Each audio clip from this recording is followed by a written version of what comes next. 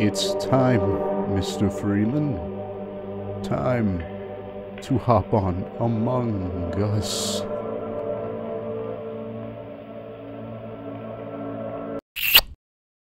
You're gay.